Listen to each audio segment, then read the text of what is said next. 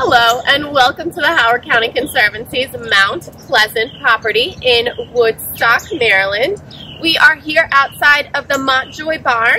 Though the Howard County Conservancy is a historic farm property and we do have many outbuildings that are original to our grounds, this building behind me, the Montjoy Barn, actually came from a property in Ellicott City.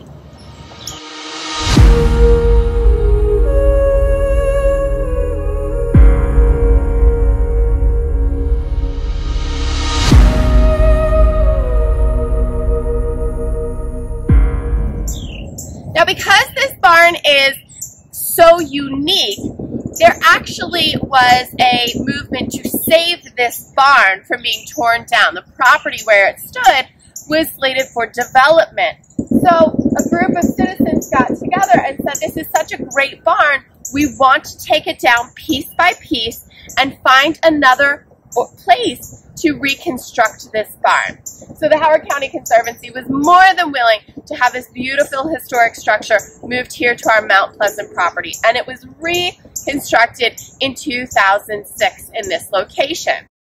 Now, if you want to own a piece of Howard County history from a very unique barn that so many people were willing to work to save, you can. You can actually create a sign from the wood of the old barn doors.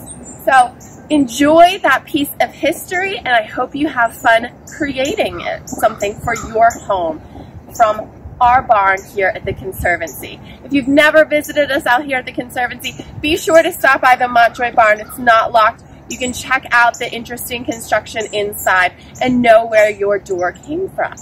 Thank you so much for joining us here at Mount Pleasant. Have a great day.